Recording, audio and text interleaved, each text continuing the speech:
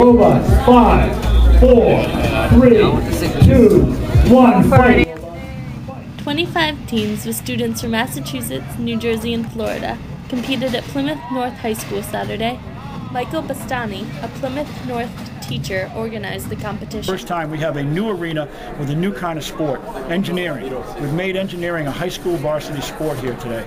And it's a permanent, permanent setup. It's not something that, that changes every year. It's as, it's as definable as a football field or a, gridiron or a baseball field. And now it's a robot fighting arena.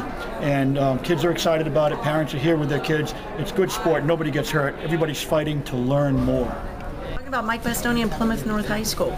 This is pretty much the epicenter of a lot of robotic activity, robotic education activity in the United States of America, and it started right here in these halls with that man and the support of the community around him, the, the administration and his sponsors, Entergy, and, and all the people that sponsor. Him, but I really would say this is one of the epicenters of robotics education for now and for the future.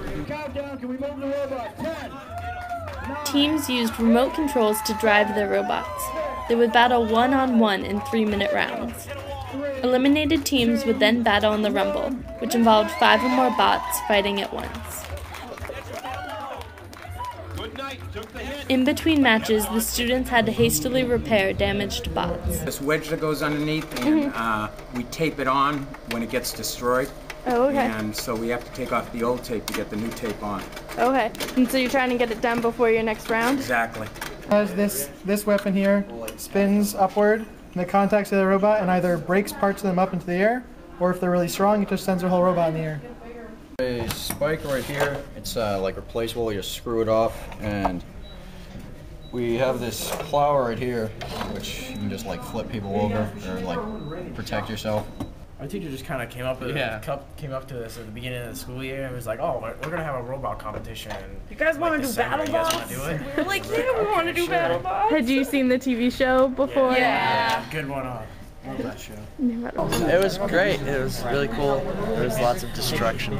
Anywhere in the country is welcome. They're all students, either middle school, high school, or college, and they're all building these robots to fight one on one to see which robot can outlast the other one in a bracket. So there's one winner left. All right.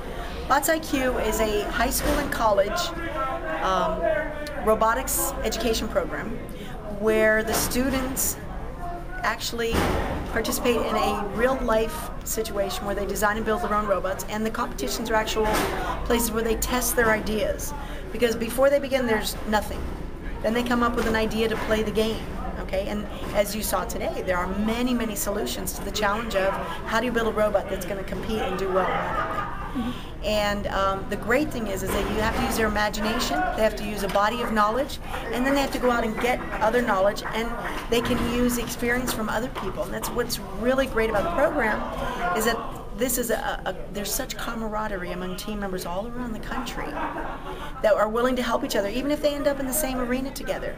It's the better ro- the, the better the robots are that they compete against, then the bigger challenge. Oh my goodness!